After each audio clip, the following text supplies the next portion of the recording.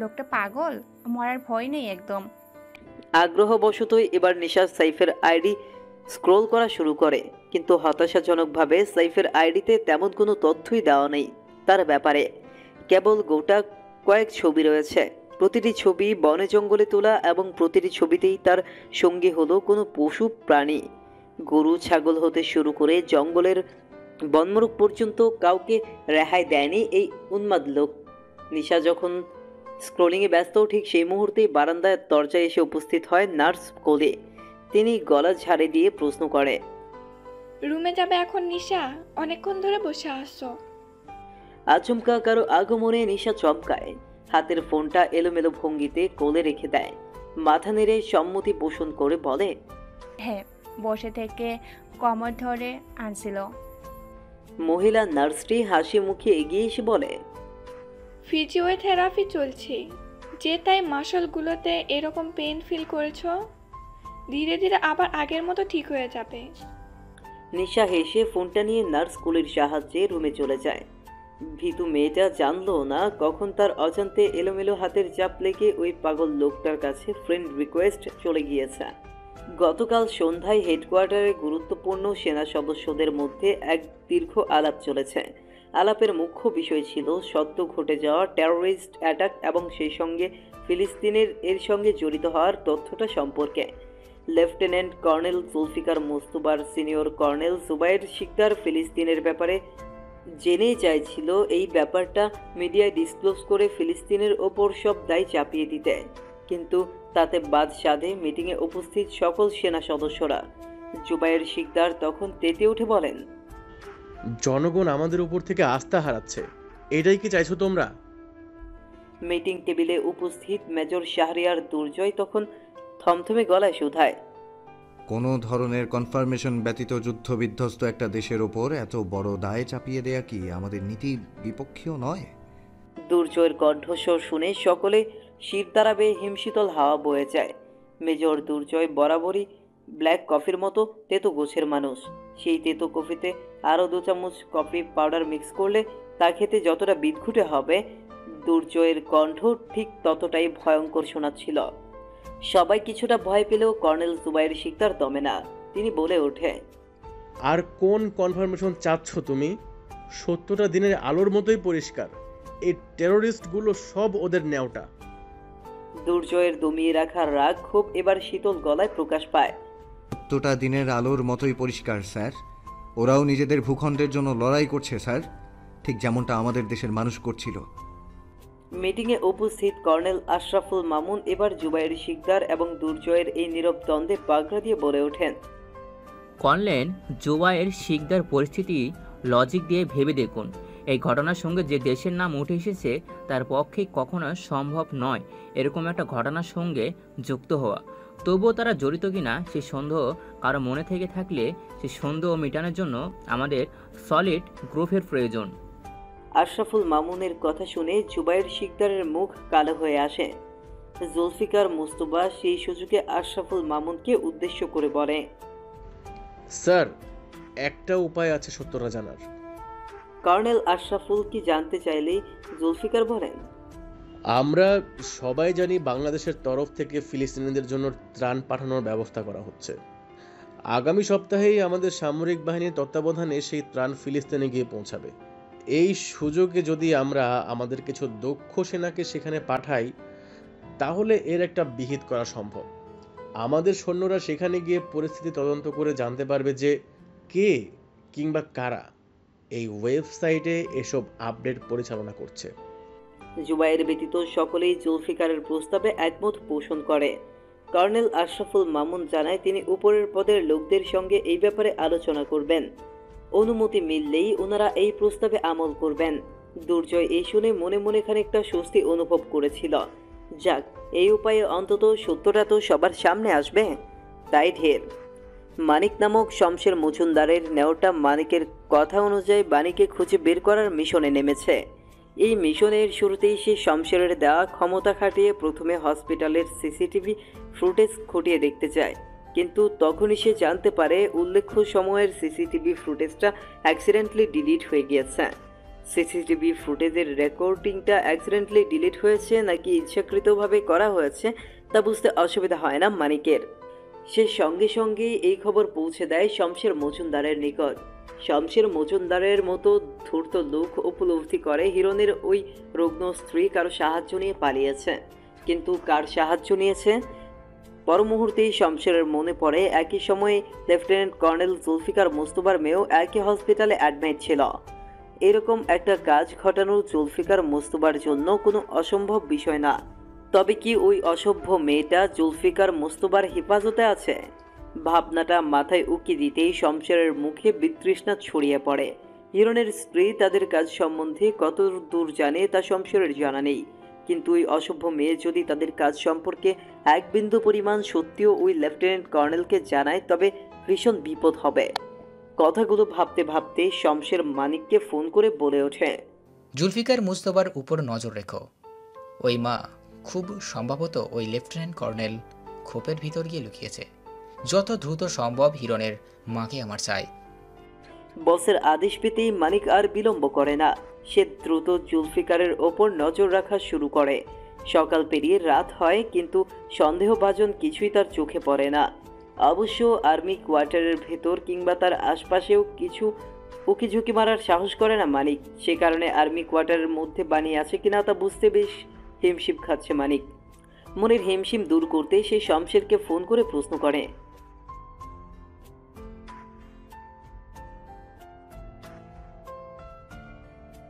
Shamsher second পাঁচেক ভাবেন তার মস্তিষ্ক জবাব দেয়।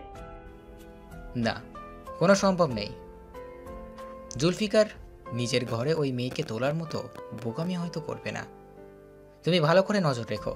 আমার মনে হয় অন্য কোনো সুরক্ষিত আস্তানে হয়তো এই মেয়ে ঘাঁটি পেতেছে। রাতের খাবার সেরে ঘুমানোর আগে স্টাফ ম্যাসের কমন রুমে সাত সৈন্য এক হয়েছে। সকলেই তখন রাফির জন্য আনন্দ প্রকাশে ব্যস্ত। তাদের লেফটেন্যান্ট কর্নেল জুলফিকার মোস্তফাকে ফিরিয়ে দেয়নি ওনার পিতা। জুলফিকার প্রচুর বিচক্ষণতার সঙ্গে ভদ্রলোকের বরফের ন্যায় মনকে গলাতে সক্ষম হয়েছেন।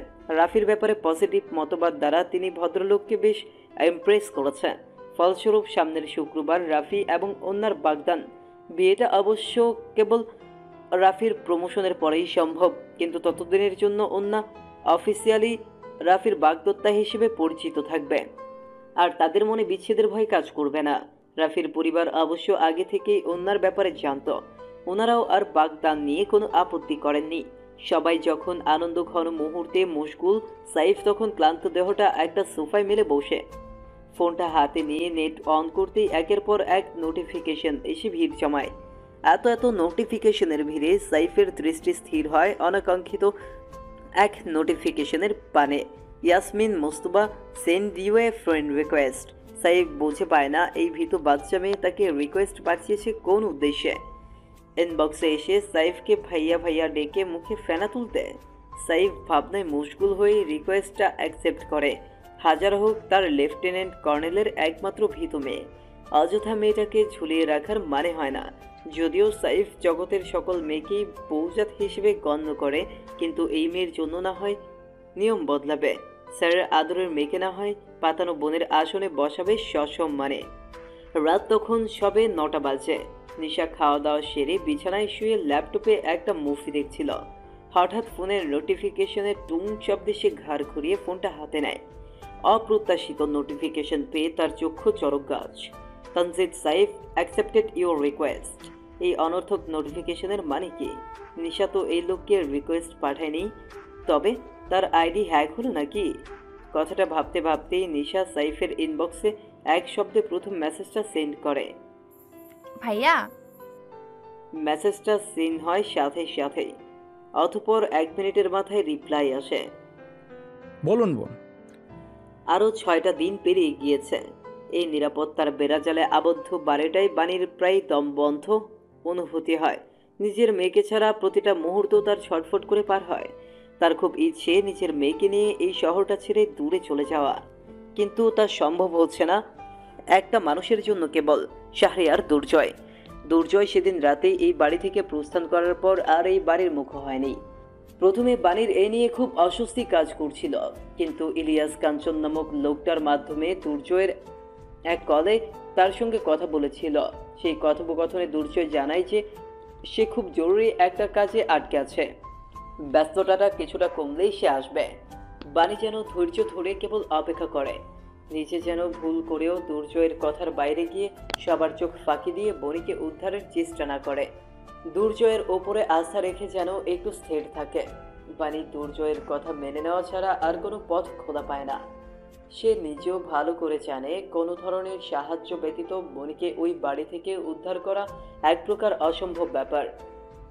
কিন্তু মায়ের মন এত যুক্তি মানতে চায় না। ইচ্ছে হয় ছুটে নিচের মেয়ের কাছে চলে যেতে। এই কয়েকদিনে আরও একটা ব্যাপারে বাণী না চাইতেও খুব আগ্রহ অনুভব করে। তা হলো, এই বাড়ির লোক করা বেডরুমটা, কেন যেন তার মনে হয় ওই বেডরুমের ভিতরে দুর্জয়ের খুব গুরুত্বপূর্ণ কিছু লুকিয়ে রেখেছে। অবশ্য তা অবাক করার মতো বিষয় নয়। দুর্জয়ের পেশা অনুযায়ী এটা খুব স্বাভাবিক একটা ব্যাপার। তবুও কেন যেন ঘুরে ফিরে বাণীর ওই রুমটা এক দফা ঘুরে দেখার খুব ইচ্ছে জাগে। কিন্তু পর মুহূর্তেই সে নিজেকে এই বলে শাসায় যে দুর্জয় তাকে সাহায্য করে কেবল এখানে থাকার সুযোগ করে দিয়েছে। অনেকটা শরণার্থীর ন্যায়। এই সামান্য সাহায্যের মানে এই নয় যে দুর্জয় তাকে নিজের ব্যক্তিগত জীবনের প্রতি আগ্রহ দেখানোর অ্যাক্সেসও দিয়েছে। ইউটিউবে বিবিসি নিউজের একটা ইংরেজি প্রতিবেদন দেখতে দেখতে এসব আকাশ কুসুম ভাবনায় মশগুল ছিল বাণী। আচমকা গুলিবর্ষণের তীক্ষ্ণ শব্দে তার ভাবনার জগতে ভাটা পড়ে। ভীত দৃষ্টি মেলে সে টিভির স্ক্রিনের পানে তাকায়। রঙিন পর্দায় দেখাচ্ছে চট্টগ্রামের সেই ভয়ঙ্কর টেররিস্ট অ্যাটাকের ঝলক কলেজ ভবনের থেকে দূরে রাস্তায় সাংবাদিকদের উপচে পড়া ভিড়। দূর হতে কলেজ ভবনের ভেতর থেকে ভেসে আসছে গুলিবর্ষণের শব্দ। বাণী ভীত দৃষ্টি মেলে দেখে সেই ভয়ঙ্কর দৃশ্য। দুর্জয় কিছুদিন পূর্বে এই বাড়ির টিভিটায় ওয়াইফাই সংযোগের ব্যবস্থা করতে একজন লোককে পাঠিয়েছিল। হয়তো বাণী একাকিত্ব ঘোচানোর জন্য নত বা বাণীর সময় কাটানোর জন্য। ওয়াইফাই সংযোগ দিয়ে যাওয়ার পর থেকে বাণী বহির্বিশ্বের বিভিন্ন ঘটে যাওয়া ঘটনা নিয়ে ডকুমেন্টারি দেখে যাচ্ছে একের পর এক। আজ কতগুলো বছর ধরে সে বাইরের পৃথিবী সম্পর্কে সম্পূর্ণ অজ্ঞাত। সে তো ভেবেছিল হিরণের ওই চার দেয়ালে ঘেরা প্রাসাদের ভেতরটাই কেবল ভয়ঙ্কর।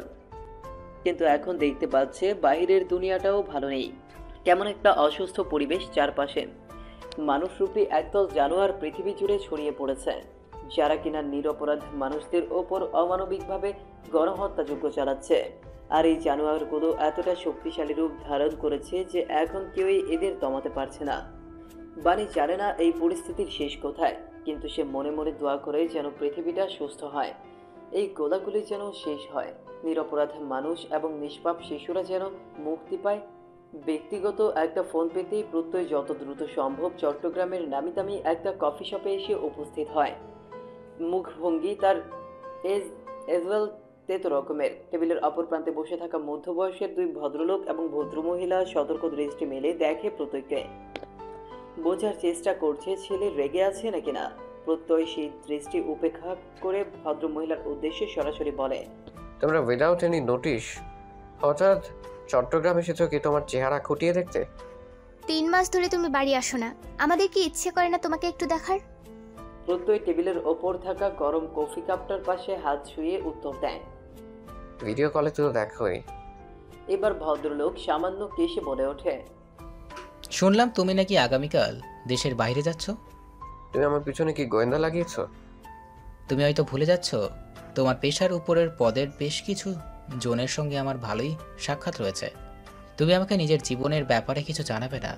দেখে যে আমি কিছু জানতে পারব না সেটা তোমার ভুল ধারণা। চট্টগ্রাম যেহেতু এসেছোই আমাকে নিয়ে তাহলে কক্সবাজার ঘুরে যেও কিছুদিন। যান্ত্রিক কোলাহল মুক্ত সমুদ্রের বিশুদ্ধ হাওয়ায় প্রশান্তি খুঁজে পাবে। ছেলের এমন আউট অফ টপিক জবাবে মতিউর আরাফাত খুব বিরক্ত হয়। তিনি রাগ সংবরণ করে ফিসফিসিয়ে শুধায়। তুমি ফিলিস্তিন যাচ্ছ ত্রাণ বিতরণ করতে। মাথা ঠিক আছে তোমার? প্রত্যয় সঙ্গে সঙ্গে আশেপাশে তাকায় সতর্ক দৃষ্টি দেয় পরক করে কেউ তাদের কথা শুনলো কিনা নিশ্চিত হয়ে নিচু গলায় জবাব দেয়। এই বিষয়ে এখানে আমি কোনো কথা বলতে চাচ্ছি না আর আমি যাব এটা ফাইনাল মতিউর আরাফাত স্ত্রী ফিজার উদ্দেশ্যে বলে তোমার ছেলের মাথা নষ্ট হয়ে গিয়েছে ফিজা। ওকে বোঝাও। স্বামীর কথা শুনতেই ফিজা উঠে এসে ছেলের পাশের চেয়ারটায় বসে। ছেলের দুই হাত নিজের হাতের মুঠোয় নিয়ে বলে ওঠে বাবা সময় আছে তুমি মানা করে দাও। তোমার বাবা ব্যবস্থা করে নেবে একটা। তোমার জায়গায় যেন অন্য কাউকে পাঠানো হয় সেই ব্যাপারে কথা বলবে। প্রত্যয় নিজের মায়ের সেন্টিমেন্ট উপলব্ধি করে তবুও সে নরম হয় না। বরং কাঠ কাঠ গলায় জবাব দেয়। সরি আম্মু তোমার এই আবদারটা রাখতে পারলাম না। তুমি জানো কোথায় যাচ্ছ তুমি?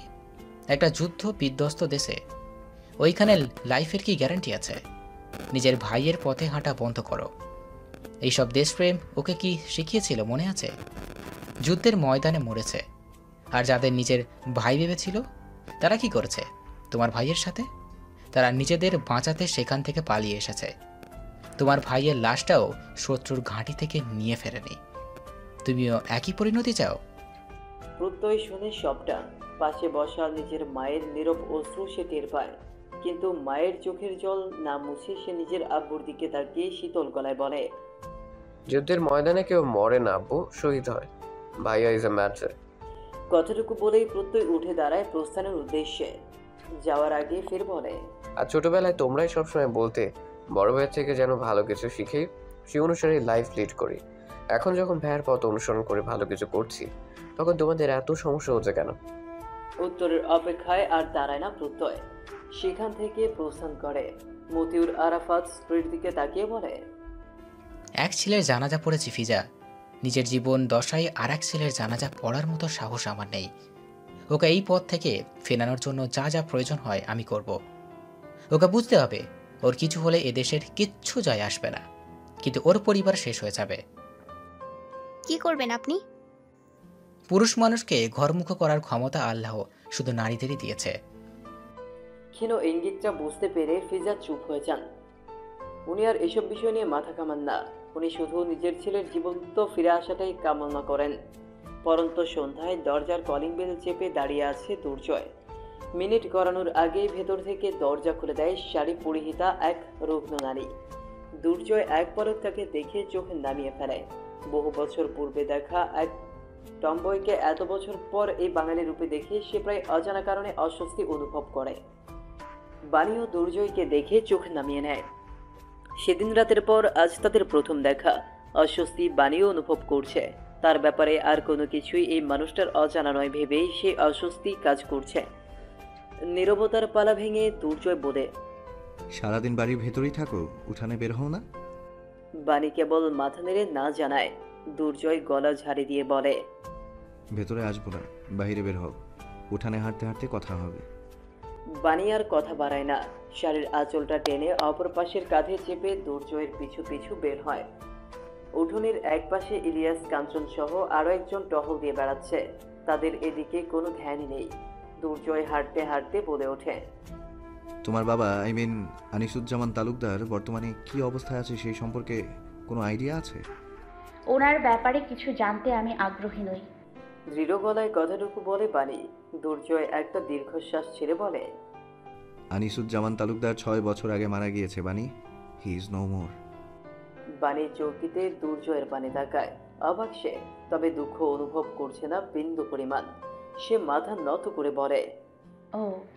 জানতে চাইবে না কীভাবে মারা গেল?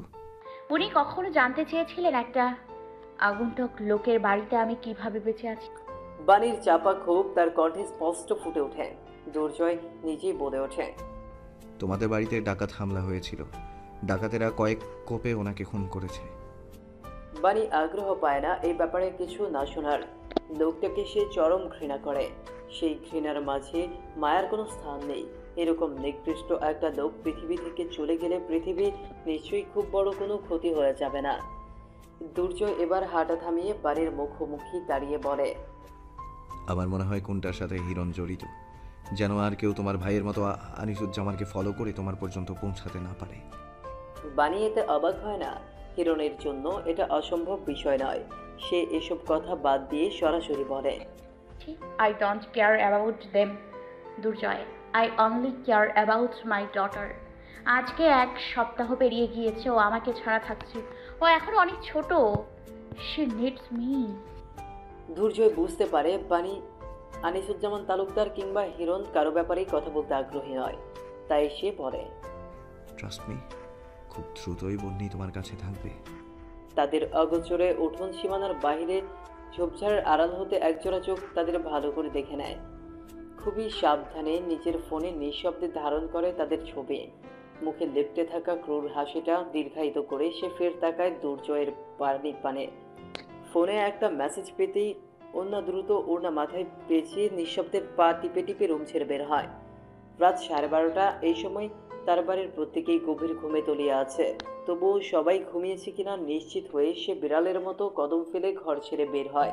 অতঃপর দ্রুত বাড়ির বাইরে রাস্তায় বের হতেই দেখে একটা বাইক নিয়ে অদূরে দাঁড়িয়ে আছে রফে।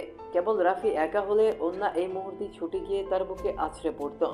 কিন্তু রাফির সঙ্গে দাঁড়িয়ে থাকা সাইফ এবং প্রত্যয়কে দেখে সে নিজের সেই ইচ্ছায় বাড়ি চাপা দিয়ে শান্ত পায়ে হেঁটে এগিয়ে যায়। সাইফ অন্যকে দেখে, একগাল হেসে বলে আসসালাম আলাইকুম ভাবি। অন্যও সামান্য হেসে সালামের জবাব দেয়। প্রত্যয় অবশ্য এত ফর্মালিটিজ না করে হেসে বলে হাই অন্না। সাইফ সঙ্গে সঙ্গে বাগড়া দিয়ে বলে শালা বউয়ের ভাবিকে ভাবি বলে এতটুকু কমন সেন্স নাই? এখনও রাফির বউ তো হয়নি। এঙ্গেজমেন্ট তো হয়েছে মানে ফিফটি পার্সেন্ট বউ অলরেডি হয়ে গেছে। বাকি ফিফটি পার্সেন্ট কবুল বললেই হয়ে যাবে। সাইফের যুক্তির পিঠে প্রত্যয় আর কিছু বলে না। এই ছেলেকে একটা কিছু বললে সে এটার পিঠে দশটা যুক্তি হাজির করে দিবে। রাফি বন্ধুদের দিকে আহত দৃষ্টি মেলে কিছু একটা ইশারা করে। সাইফ এবং প্রত্যয় সেই ইশারা দেখে বেশ মজা পায়। বেচারাকে কি অসহায় দেখাচ্ছে? সাইফ শার্টের হাতা গোটাতে গোটাতে বলে, আজকে প্রত্যয় গার্ড দিবি।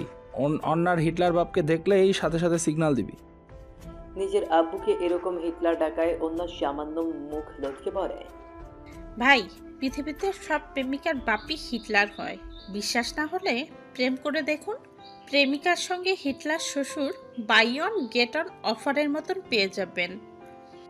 সাইফ আর প্রত্যয় দুজনেই দুদিকে পাহারা দেওয়ার জন্য প্রস্থান করতেই অন্য মুখ কালো করে প্রশ্ন করে। কবে নাগাদ ফিরবে তুমি?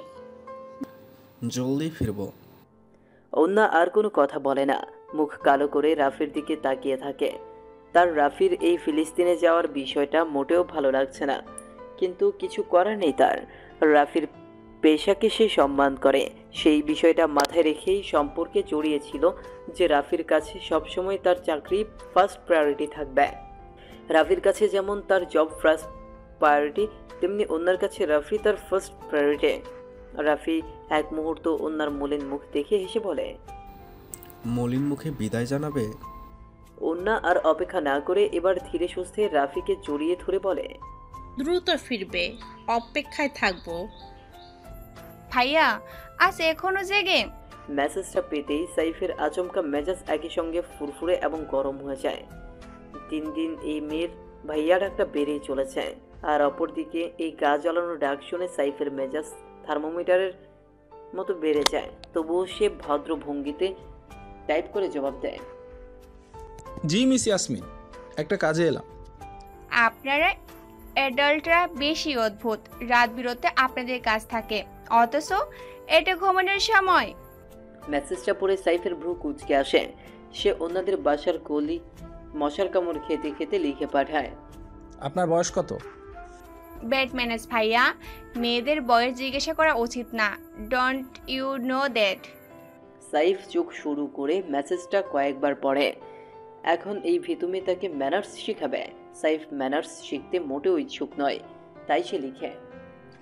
ঘুমান miss Yasmin good night Nisha মেসেজটা পড়ে অবাক হয়। হুট করে কথার মধ্যপথে বিদায় নেওয়া কি এই লোকের স্বভাব? এই স্বভাবটা মোটেও পছন্দ না নিশার। সে বিড়বিড়িয়ে বলে। অ্যাগেন ব্যাটম্যানার্স নিশা ফোন রেখে মন খারাপ করে শুয়ে রয়। অদ্ভুত বদভ্যাস হয়েছে তার। এই অতি ব্যস্ত ম্যানারলেস লোকটার সঙ্গে কথা বলতে কেন যেন তার ভালো লাগছে তার হঠাৎ করে। হয়তো একাকিত্বের জন্য আম্মু নেই, আব্বুও প্রায় সারাদিন বাহিরেই কাটায়। রুহি নেই, এমন অবস্থায় তার অবচেতন মন কথা বলার জন্য একজন সঙ্গী খুঁজলেই সে এই সাপ বিচ্ছু প্রেমীর লোকটাকে মেসেজ দেয়। লোকটা দু চারটা অদ্ভুত কথা বলে কথার মাঝখানে সবসময় উধাও হয়ে যায়। এক রুমের আলিশান হোটেল রুমটা অন্ধকারে ছেয়ে আছে। সেই অন্ধকারের মাঝেই ল্যাপটপের স্ক্রিনটা রুমটাকে মৃদু আলোকিত করার প্রচেষ্টায় মত্ত। বিছানার হেড সাইডে হেলান দিয়ে বসে কিবোর্ডে দ্রুতভঙ্গিতে হাত চালাচ্ছে এক রমণী। গভীর মনোযোগ তার ল্যাপটপের স্ক্রিনের দিকে নিবন্ধ আচমকা ফোনের রিংটনের শব্দে তার মনোযোগ ভঙ্গ হয়। ফোনটা হাতে নিতেই দেখে একটা ফরেন নাম্বার থেকে ইনকামিং কল রমণী অপেক্ষা না করেই কল রিসিভ করে।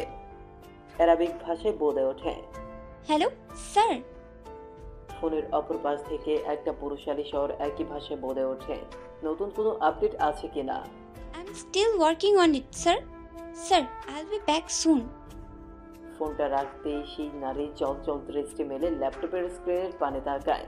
সঙ্গে সঙ্গে একটা আর্টিকেল তার চোখের সামনে ভেসে ওঠে।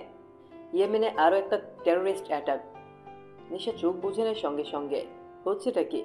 তার মাতৃভূমির বর্তমান অবস্থা এভাবেই খুব করুন। তার উপর পরপর কয়েক মাসের ব্যবধানে তিনবার এই টেরোরিস্ট অ্যাটাক এর শেষ কোথায়? নিজের ম্যানেজারের সঙ্গে ব্যবসার হিসেব নিয়ে আলাপনে ব্যস্ত ছিল শমশের মজুমদার। সেখানে সকাল সকাল মানিকের আগমন হওয়ায় তিনি আলাপ থামায়। ম্যানেজারকে বিদায় করে দিয়ে মানিকের উজ্জ্বল মুখ পানে চেয়ে হেসে প্রশ্ন করে। কোনো গুড নিউজ মানিক। মানিক হেসে মাথা নাড়ে পকেট থেকে নিজের ফোন বের করে অতঃপর ফোনটা শমশের মজুমদারের দিকে বাড়িয়ে দেয়। শমশের মজুমদার আগ্রহ নিয়ে ফোনটা নিজের হাতে নিয়ে স্ক্রিনে তাকায়। সঙ্গে সঙ্গে তার মুখেও হাসি ফুটে ওঠে। কৌতুক মিশ্রিত গলায় প্রশ্ন করে সাথের মালটাকে?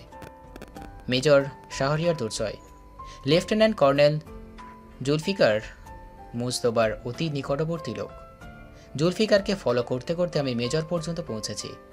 শমশের মজুমদার এবার কিছুটা সিরিয়াস মুখ করে বলে খালি হাতে ফিরে এলে কেন তবে? স্যার জায়গাটা খুব সিকিওর গতকাল সারা রাত আমি ঝোপঝাড়ের আড়ালে লুকিয়ে মশার কামড় খেয়ে ওখানকার গতিবিধি বোঝার চেষ্টা করেছি। তা গতিবিধি বুঝতে পেরেছ? জি স্যার। তাহলে আর দেরি কেন? শমশেরের কথার ইঙ্গিত বুঝতে পেরেই মানিক হাসে। আজ সকালের নাস্তাটা ঘরে মেয়ের সঙ্গে সেরেই বেরিয়েছেন জুলফিকার মুস্তফা। তিনি নিজেও খুব করে উপলব্ধি করছেন যে নেশাকে তিনি ঠিকঠাক সময় দিতে পারছেন না।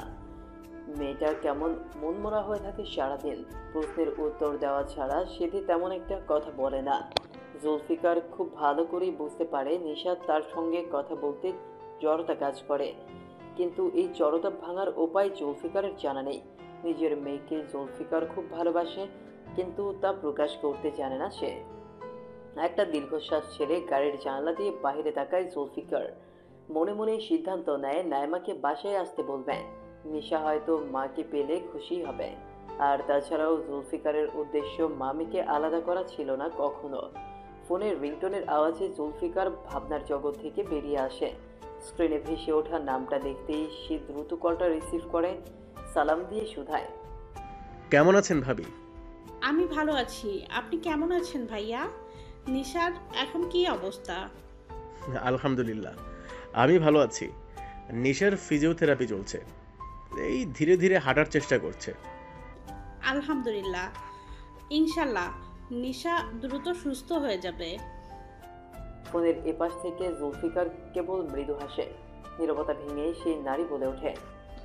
ভাইয়া, আসলে আমি দুর্জয়কে কল করছিলাম, কিন্তু ওকে ফোনে পাচ্ছি না। ও কোথায়? ভালো আছে তো?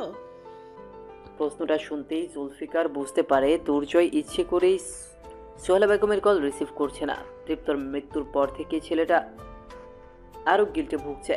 নিজের মার কাছ থেকে ভাইয়ের সত্যিটা লুকানোর গিল ফিলিংস ছেলেটাকে খুব পোড়াচ্ছে। জুলফিকার সত্যতার ঢাকা দেওয়ার জন্য অজুহাত দেখিয়ে বলে জি ভালো আছে ভাবি। কাজের চাপে একটু ব্যস্ততায় দিন কাটছে ওর। ফোনের অপর পাশ হতে দুর্জয়ের মা সোহেলা বেগম এবার সামান্য ইতস্তত করে বলে ভাইয়া দুর্জয় আজ প্রায় সাত মাস ধরে বাড়িতে ফিরছে না। ওকে দেখতে খুব ইচ্ছা করছিল। আমি ভাবছিলাম চট্টগ্রামে এসে কয়েকটা দিন থেকে যাব। জুলফিকার মুস্তফা সঙ্গে সঙ্গে বিষম খায়। তার মনে পড়ে যায়, গতকাল মাত্র দুর্জয় তাকে জানিয়েছে যে তার পরিচিত এক ক্লাসমেট খুব বড় এক বিপদে পড়েছে। তাকে আপাতত সে নিজের বাবার চট্টগ্রামের বাড়িটাতে রেখেছে। তাকে সেই বিপদ থেকে উদ্ধারের জন্যই সে সেদিন জুলফিকারকে বলেছিল হসপিটালের সিসিটিভি ফুটেজ ডিলিট করার ব্যবস্থা করতে। এমন অবস্থায় যদি সোহালা বেগম চট্টগ্রামে আসেন, তবে সিচুয়েশন আরও কমপ্লিকেটেড হয়ে দাঁড়াবে। জুলফিকার সোহালা বেগমকে একটা বসে দিয়ে বলেন। ভাবি এখানে আপনার নিজস্ব বাড়ি আছে। আপনি চাইলে যখন খুশি তখন আসতে পারেন। কিন্তু সত্যি বলতে এই মুহূর্তে আসলে দুর্জয় আপনাকে একদমই সময় দিতে পারবে না। খুব ব্যস্ততায় সময় কাটছে ওর। তবে হ্যাঁ কিছুদিনের মধ্যেই ও কিছুটা হলেও ফ্রি হবে। তখন না হয় আপনি এসে ওর কাছে থেকে গেলেন অনেক দিন দুর্জয়ও তখন আপনাকে সময় দিতে পারবে। জুলফিকার মুস্তফার বুঝ পেয়ে সোহালা বেগম তা মেনে নেন। তিনি হেসে বলেন আচ্ছা তাই না হয় হবে? আপনি দুর্জয়কে নিয়ে একদমই দুশ্চিন্তা করবেন না ভাবি। আপনি ওকে আগলে রেখেছেন দেখেই তো আমি কিছুটা নিশ্চিন্তে থাকতে পারি ভাইয়া। ও ছাড়া আর আমার কে আছে বলুন? চট্টগ্রামের সুনামধন্য এক গার্লস কলেজে কথিত টেররিস্ট অ্যাটাকে আটটি টেররিস্ট আজ এক সপ্তাহের বেশি সময় ধরে সেনাদের সেলে আটক অবস্থায় রয়েছে। এই দিনগুলোই সৈন্যরা কম টর্চার চালায়নি জানোয়ারগুলোর ওপর, কিন্তু এরা লোহার তৈরি। মরবে তবু মুখ খুলবে না। প্রত্যেকের চেহারার নকশা বদলে দিয়েছে মার খেতে খেতে। তবুও এদের মধ্যে কোনো হেলদোল নেই। কোনো ধরনের ইমোশনাল ব্ল্যাকমেল পর্যন্ত এদের ছুতে পারে না।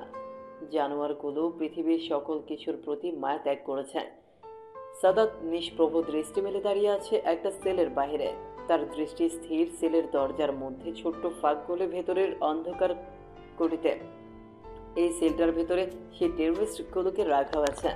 আজ কদিন ধরে এদের খাবার দেওয়া বন্ধ করা হয়েছে। যেন ক্ষুধার তাড়নায় হলেও এরা মুখ খুলে, কিন্তু এরা মাটি কামড়ে পড়ে আছে, তবুও মুখ খুলছে না। আজ এদেরকে এক নতুন ধরনের থেরাপি দেওয়া হবে।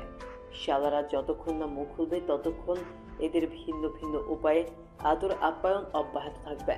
সাদাত হাত ঘরের দিকে তাকিয়ে দেখে নেয় সময়টা। সকাল সাতটা বেজে পঁয়তাল্লিশ মিনিট। রাফি প্রত্যয় রিদওয়ানদের যাওয়ার সময় হয়ে গিয়েছে প্রায়। সাদাত আর দাঁড়িয়ে না থেকে সেখান থেকে প্রস্থান করে। এই মুহূর্তে বন্ধুদের বিদায় জানানো তার কাছে গুরুত্বপূর্ণ। সামরিক বাহিনীর ইউনিফর্ম পরিহিত রাফি, প্রত্যয় এবং রিদওয়ান সম্পূর্ণ তৈরি যাওয়ার জন্য সাইফ সাদাত জুনায়েদ ফরদিনের থেকে বিদায় নেয় তারা হাস্যোজ্জ্বল মুখে। অতঃপর মুখোমুখি হয় মেজর শাহরিয়ার দুর্জয়। তারা যখন মেজরকে স্যালুট করতে প্রস্তুত, তখন তাদের অবাক করে দিয়ে দুর্জয় নিজের দুহাত মেলে দেয় আলিঙ্গনের জন্য। উপস্থিত সকলেই বেশ অবাক হয় তাতে, তবে প্রত্যয় দ্রুত বিস্ময় কাটিয়ে দুর্জয়ের আলিঙ্গন গ্রহণ করে। জুনিয়রকে বুকে জড়িয়ে ধরে দুর্জয় তার কানে ফিসফিসিয়ে বলে, ভুলে যেও না। যেই প্রমাণই পাও না কেন, তা সবার আগে জুলফিকার স্যার অথবা আমাকে জানাবে। এক এক করে বাকি দুজনকে আলিঙ্গন করেও দুর্জয় একই কথা বলে। প্রত্যয়, রাফি এবং রিদওয়ান ভালো করেই জানে মেজর এরকম একটা কথা কেন বলেছে। তাদের কাছে অর্ডার আছে যেন সকল আপডেট সবার আগে কর্নেল জুবাইর শিকদারের কাছে পৌঁছানো হয়, কিন্তু এই লোকটা খুব একটা পছন্দের না তাদের। ঠিক পছন্দ না বললে ভুল হবে। তাদের কাছে লোকটার ব্যবহার অবিশ্বাসযোগ্য ঠেকে। একজন সৈন্যের কাছে তার ফার্স্ট প্রায়োরিটি নিজের দেশের সুরক্ষা। সেই সুরক্ষার খাতিরে এমন দু একটা অর্ডারের থোড়াই কেয়ার করলে কোনো ক্ষতি নেই, তারা মনে করে। বিদায়ের পালা শেষ হতেই সৈন্যরা প্রাথমিকভাবে সামরিক হেলিকপ্টারে চড়ে বসে। তারা আগে এখান থেকে ঢাকা যাবে। সেখান থেকে বাকিদের সঙ্গে একসাথে ফিলিস্তিনের উদ্দেশ্যে যাত্রা করবে তারা। হেলিকপ্টার ধীরে ধীরে ভূমি ছেড়ে আকাশপথে ঊর্ধ্বগমন শুরু করতেই তিনজন আরও একবার জানলা দিয়ে নিচের দিকে তাকায়। দেখে নেয় পরিচিত মুখগুলো। কে জানে এটাই যদি কারও শেষ যাত্রা হয়? বিকেলের এই সময়টা মূলত শিফট চেঞ্জিংয়ের সময়। সারাদিন অন্য দুজন দুর্জয়ের বাড়ির বাইরে নিরাপত্তা দিলেও বিকেলের এই সময়টায় শিফট চেঞ্জ করে ইলিয়াস কাঞ্চন এবং তার সঙ্গী ডিউটিতে আসে। ঠিক বিকেল থেকে সারাত পর্যন্ত তারা বাণীর নিরাপত্তার দায়িত্বে থাকবে আজও তার ব্যতিক্রম নয়। ইলিয়াস এবং তার সঙ্গী সবে ডিউটিতে এসেছে। তারা যখন উঠোন জুড়ে টহল দিতে ব্যস্ত, তখন আচমকা ইলিয়াসের সঙ্গী আহসান বলে ওঠে, তার প্রকৃতির ডাক এসেছে। সে এখনই রাস্তার ওপাশের ঝোপ থেকে এক নাম্বার কাজ সেরেই এসে পড়বে। ইলিয়াস বিরক্ত হলেও বলে দ্রুত আসতে। আহসান প্রস্থান করতেই ইলিয়াস একা একা চারদিকে টহল দিতে থাকে। সময় পেরোয় দশ মিনিট, বিশ মিনিট, পেরিয়ে প্রায় ত্রিশ মিনিট হতেই ইলিয়াস বিরক্ত হয়। আহসানের একটা বদ অভ্যাস আছে। এটা সেটার ওসিলাই দূরে গিয়ে সিগারেটে দু চারটা টান মারার। তাই এই ব্যাপারে খুব একটা মাথা ঘামায় না ইলিয়াস। কিন্তু আচমকা উঠোন পেরিয়ে রাস্তার অপর পাশের ঝোপঝাড় হতে অদ্ভুত কিছু শব্দ ভেসে আসতেই ইলিয়াস সতর্ক হয়ে যায়। দ্রুত নিজের সিভিল পোশাকের পেছন হতে একটা পিস্তল বের করে হাতে নেয়। বাড়ির দরজার কাছে গিয়ে কলিং বেল চাপে দ্রুত মিনিট পেরোতেই ভেতর থেকে বাণী অভ্যাসগত সুরে প্রশ্ন করে। কে? ম্যাডাম আমি আমি ইলিয়াস কাঞ্চন। আপনি দরজা ভালো করে লক করে বসুন। ভুলেও দরজা খুলবেন না। সম্ভব হলে দ্রুত দুর্জয় স্যারকে কল করুন। I think something is fishy here অনর্গল বলা কথাগুলো কানে পৌঁছতেই বাণী ভীত হয়ে বলে সামথিং ইজ ফিশ মানে কি হয়েছে বাইরে? হিরণ ওর লোকেরা কি বাণীর সন্ধান পেয়ে গিয়েছে? ভাবনাটা বাণীর মাথায় উকি দিতেই সে তীর তীর করে ঘামতে শুরু করে।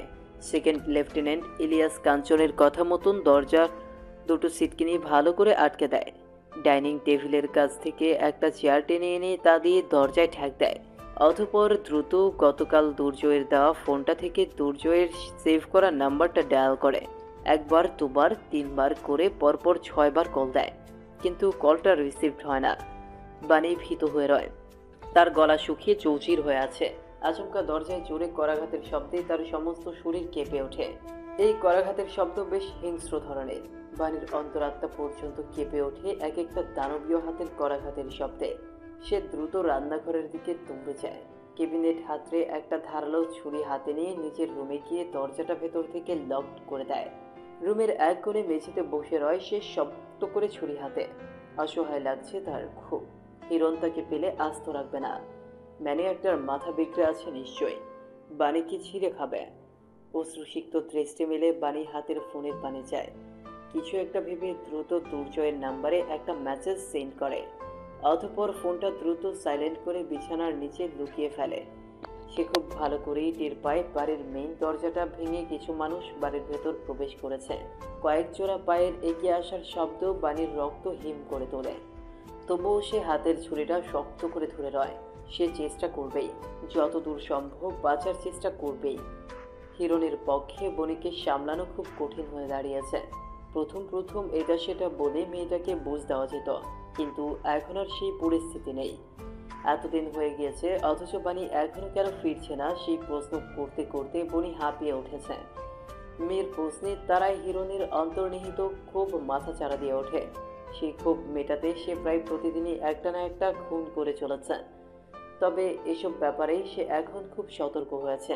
ভুল করেও ঘরের ত্রিসীমানায় ভায়োলেন্স জাতীয় কিছু করে না। পাছে না আবার তার মেয়ে কিছু জেনে যায়। হিরণের মনে হয় সে একদল গরুকে ঘাস খাইয়ে পালে। এরা জাবর কাটা ছাড়া আর কোনো কাজ পারে না। একটা মেয়ে মানুষকে হাওয়ায় মিলিয়ে যাবে নাকি? তাকে খুঁজে পেতে এত দেরি কেন হবে? হিরণের সবরাগ জমা হয়ে আছে বাণীকে সাহায্য করা সেই সাহায্যকারীর প্রতি। এই মানব সেবাকারীকে খুঁজে পেলে হিরণ সোজা তার গলায় নিজের সংগ্রহের সব থেকে ধারালো চাপাত চালাবে। অসভ্য কুকুরটার গলার সবগুলো রগ কেটে দিবে। গলা কাটা মুরগির মতো তরপাতে তরপাতে যখন তার আত্মা দেহ ত্যাগ করবে, তখন হিরণ তৃপ্তির ঠেকুর তুলবে। সবে মাত্র বাসে ফেরা হিরণ জানলার ধারে দাঁড়িয়ে এসব ভাবনায় মুশকুল ছিল। সময়টা এখন সন্ধ্যা। বাড়ির সীমানার বাইরে পরিবেশটা দেখতে কেমন? অদ্ভুত লাগছে। বাড়ির দুটো ল্যাম্পপোস্ট আজকে নষ্ট হয়ে গিয়েছে। ফলস্বরূপ আধারে ছেয়ে আছে বাড়ির সীমানার বাহিরটা। আচমকা ফোন শব্দ তুলে বেজে উঠতেই হিরণের ভাবনায় ভাটা পড়ে। সে ছাইরঙা প্যান্টের পকেট হতে ফোন বের করে। অসময়ে শমশের মজুমদারের কল পেয়ে বেশ বিরক্ত অনুভব করে।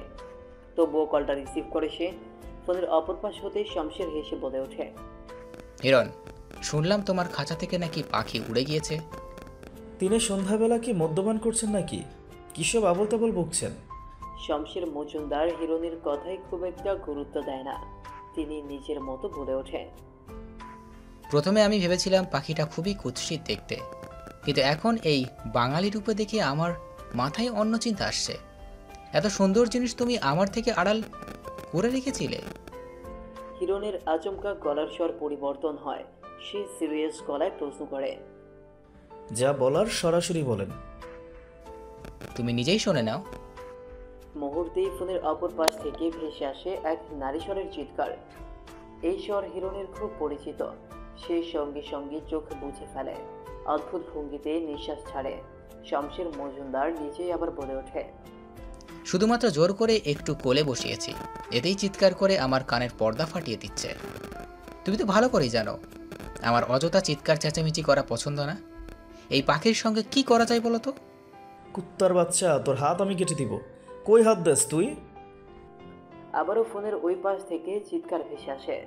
শমশের মজুমদার বেশ রসালো গলায় বলে এই নরম তুলতুলে শরীর এতদিনে একা ভোগ করেছ তুমি? একবারও এই ব্যাপারটার কথা মনে পড়েনি? বাপকে অভুক্ত রেখে কীভাবে হজম করলে তুমি? খানকির বাচ্চা রে তুই মরবি। আমার হাতেই মরবি তুই। হিরণের চিৎকার এত জোরে ছিল যে তার রুমের দরজার কাছে বনি এসে উপস্থিত হলো। কিন্তু পাপার এই ভয়ঙ্কর রূপ আর অজস্র গালিগালা শুনে সে ভীত হয়ে পড়ে। ছোট বাচ্চাটা ভয়ে গুটিসুটি মেরে দরজার সঙ্গে লেপটে রয়। নিচ থেকে ইবাদ এবং একজন হেল্পিং হ্যান্ড দৌড়ে উঠে আসে হিরণের দরজার কাছে। হিরণের এই রূপ দেখে এবং বনিকে দরজার কাছে দেখে ইবাদ দ্রুত সেই হেল্পিং হ্যান্ডকে ইশারা করে বনিকে এখান থেকে নিয়ে যেতে। হেল্পিং হ্যান্ড মহিলাটা একটা ঢোক গিলে বনির হাত ধরে টেনে দ্রুত সেখান থেকে প্রস্থান করে। হিরণ তখনও গালিগালাজ করে শমশেরকে একের পর এক হুমকি দিয়ে যাচ্ছে। ফোনের অপর পাশে থাকা শমশের তা শুনে হাসে। কুকুরের লেজে সে পা দিয়েছে। কুকুর তো ঘেউ ঘেউ করবেই। সে আর কোনো কথা না বলে ফট করে কলটা কেটে দেয়। হিরণের মাথা বিগড়ে যায় মুহূর্তেই। রাগে সে লাথি মেরে সিঙ্গেল সোফাটা উঠতে ফেলে। অতপর দ্রুত বেড সাইড ক্যাবিনেট থেকে একটা রিভলভার বের করে প্যান্টের পেছন দিকে ভরে নেয়। গায়ের কোটটা খুলে ছুঁড়ে ফেলে, শার্টের হাতা গোটাতে গোটাতে সে ব্যস্ত পায়ে বেরিয়ে যায়। এবার চিন্তিত গলায় জানতে চায় কি হয়েছে। হিরণ কেবল যাওয়ার আগে এইটুকু বলে। শমশের খানকির বাচ্চা বাণীকে খুঁজে পেয়েছে। আমি অর্ধেক গার্ড সঙ্গে নিয়ে যাচ্ছি। তুমি বাসায় থাকো। বনহির দিকে খেয়াল রেখো। আমার মেয়েকে তোমার ভরসায় রেখে যাচ্ছি। দুই হাত এবং পা বাঁধা অবস্থায় সোফার এক কোণে বসে আছে বাণী। তার ঠিক পাশেই বসে আছে শমশের মজুমদার যিনি এক হাতে বাণীর কোমর চেপে ধরে বসে আছেন। অসভ্য বড় লোকটার স্পর্শ ক্ষণে ক্ষণে বাণীকে আতঙ্কিত করে তুলছে। কিন্তু সে ছটফট করা এবং চিৎকার করা ছাড়া প্রতিহত করার আর কোনো মাধ্যম খুঁজে পাচ্ছে না। বাণীর আতঙ্ক মিশ্রিত চিৎকারে বেশ তৃপ্তি খুঁজে পাচ্ছে শমশের মজুমদার। তিনি সোফায় পায়ের উপর পা তুলে বসে খুব আয়েস করে অপর হাতে চানাচুর মাখা খেতে ব্যস্ত। বাহিরে আকাশ তখন গর্জন তুলে রাখছে। এমন বাতলা দিনে চানাচুর মাখা খাওয়ার মজাই অন্যরকম। তিনি এক মুঠো চানাচুর বাড়িকে দেখিয়ে সাধে। খাব নাকি বৌমা? খাইয়ে দিব? ছেলে এসে তা পরে বলবে, আমি তার বউকে ঠিকঠাক খাতির যত্ন করিনি। কথাটা বলেই শমশের অশ্লীল ভঙ্গিমা করে হাসিতে ফেটে ওঠে। বাণীর কক গড়িয়ে আসে সেই হাসি দেখে। আক্রোশে সে নিজের তড়ি দিয়ে বাঁধা পা জোড়া তুলে সোফার সামনে রাখা টি টেবিল বরাবর একটা লাথি মারে। মুহূর্তে টি টেবিলের ওপরের কাজ এবং চানাচুর মাখা কাচের বাটিটা টাইলস বসানো ফ্লোরে পড়ে ঝনঝন শব্দ তুলে ভেঙে গড়িয়ে যায়। শমশের মজুমদার কিছু বুঝে ওঠার পূর্বেই তার মুখেও একদলা থুতু নিক্ষেপ করে বাণী। শমশের মজুমদারের হাসি মাখা মুখে মুহূর্তেই কালো আধার নামে।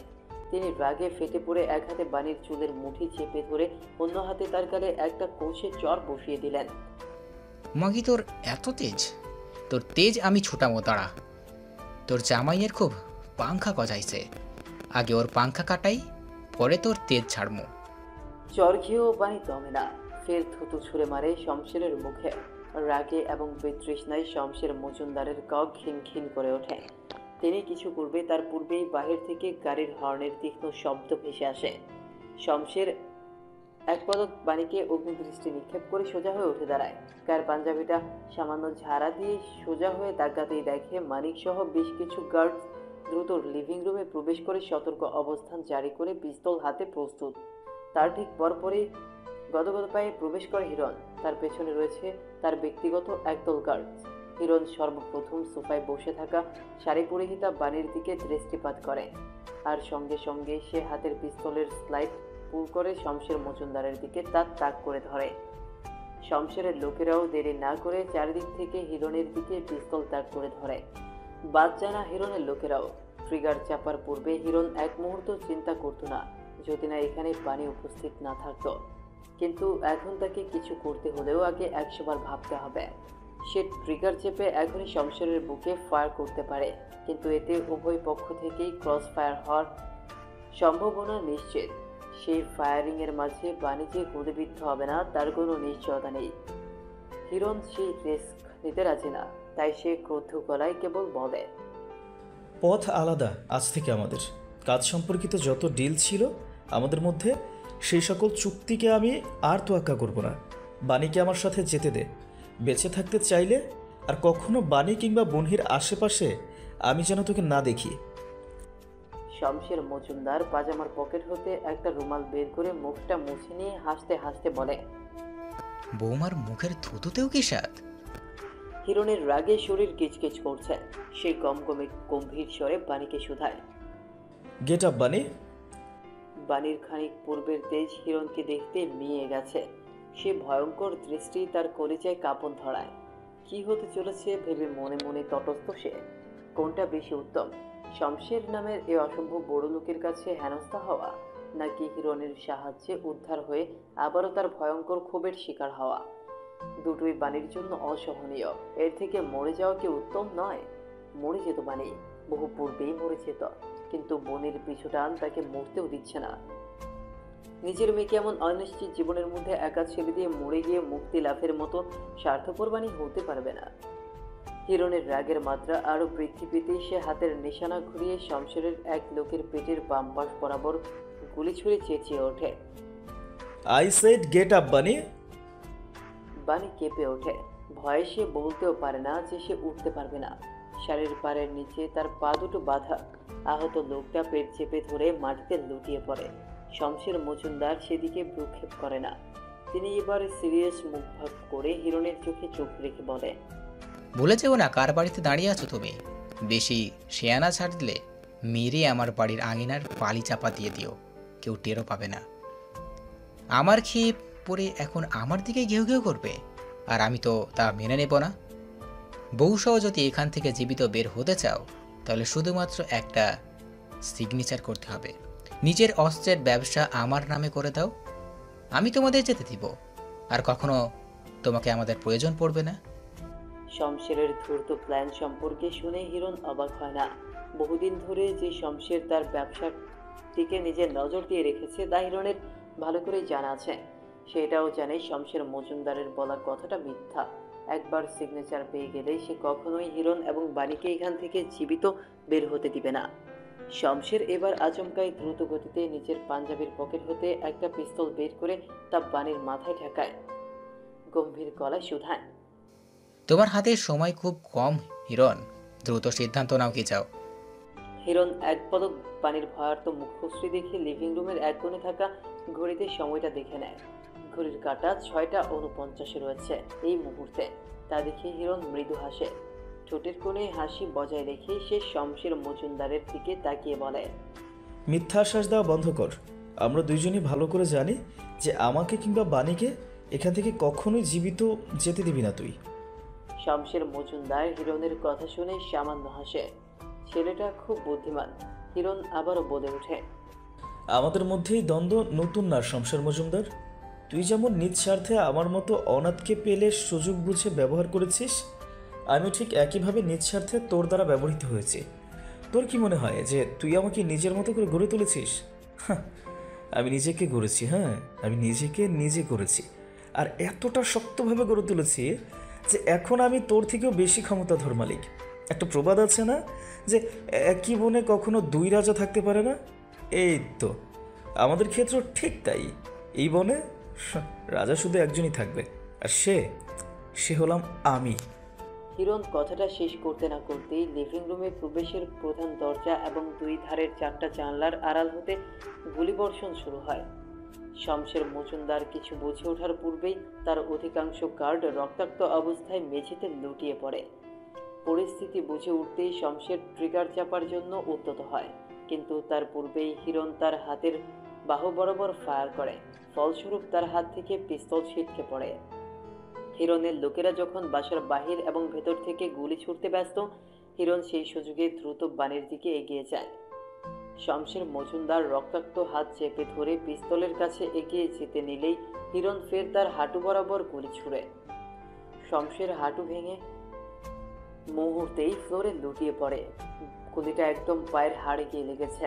উঠে দাঁড়ানোর কোনো শক্তি খুঁজে পাচ্ছে না সে। হিরণ নিঃশব্দে এগিয়ে পানির দড়ি দিয়ে বাঁধা হাত জোড়াকে আগে বাঁধন মুক্ত করে।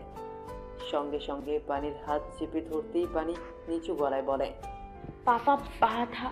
হিরণ তা শুনে ভ্রু কুচকে তাকায় বাণীর পায়ের দিকে। বাণী নিজের হাত ছাড়িয়ে নিয়ে নিজেই শাড়ির পাড়টা সামান্য উঁচু করে দ্রুত হাতে পায়ের বাঁধন খুলে ফেলে। পা জোড়া মেঝেতে রাখতে নিলেই হিরণ তার পূর্বেই তাকে পাজা করে তুলে নেয়। ভয়ে বাণী চিৎকার করে ওঠে। পা পা বাধা হাঁটতে পারব, নামান।